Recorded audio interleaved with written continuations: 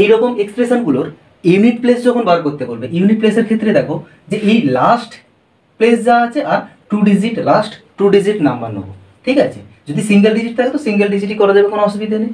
নাহলে ম্যাক্সিমাম যতই নাম্বার থাকুক, আমি টু ডিজিট নাম্বার নেব। তাহলে এখান থেকে আমি লিখতে পারি two to the power forty two ওই ফর্টি টুটাকে চার দিয়ে ভাগ করব। চার একে চার, দুই, চার শূন্য শূন্য, দুই নামছেই না। তাহলে দশ চারে চল্লিশ দুই, বিয়াল্লিশ।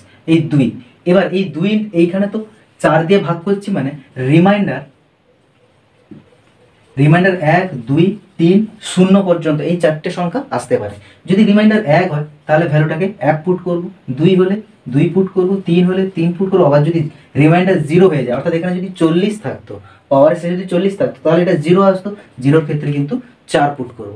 ওকে এখানে বিয়াল্লিশ আছে। তো বিয়াল্লিশের দুই আসছে two to the power two দু দুয়ে চার।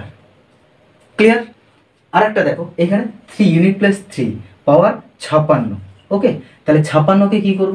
ছাপ্পান্নকে চার দিয়ে ভাগ করব। চার একে চার, ষোলো, চার, চারে ষোলো। কিছু নেই মানে শূন্য আছে। অর্থাৎ three to the power zero means zero মানে হচ্ছে পাওয়ারটাকে ফোর বসাতে হবে। তাহলে তিন তিনে নয় নয় নয়, একাশি। একাশির আট তুলে দিব ইউনিট প্লেস তাহলে কত হচ্ছে? না, এক। এই জিনিসটাকে একটু মনে রাখতে হবে।